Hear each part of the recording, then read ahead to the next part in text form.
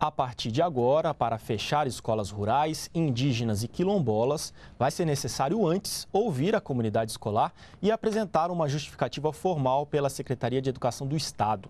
É o que determina uma lei sancionada pela presidenta Dilma Rousseff.